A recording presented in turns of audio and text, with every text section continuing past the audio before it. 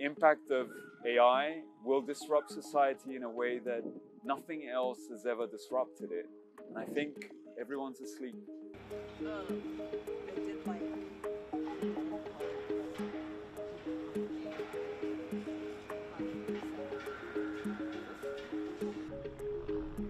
I think due to the compounding speed at which it's moving, uh, we're going to have to gather together and figure things out very quickly. And so these spaces of connection are more important than ever.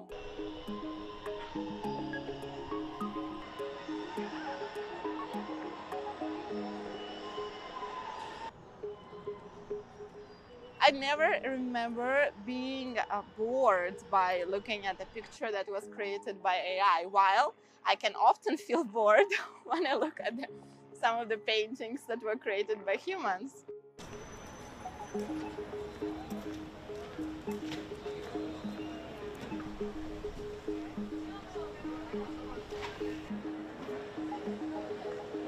I have heard recently more about AI uh, AI created art, but that's still in its infancy. And, you know, where that's going to go, I don't know.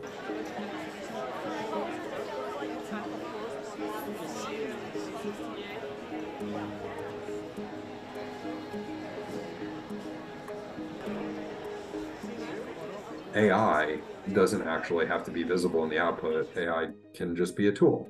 Uh, and there are people who would obviously feel more or less strongly about whether that's good or bad. But I would feel fairly confident speculating that some of the work uh, that doesn't read as AI based is in fact um, uh, uh, in leveraging AI in its creative process.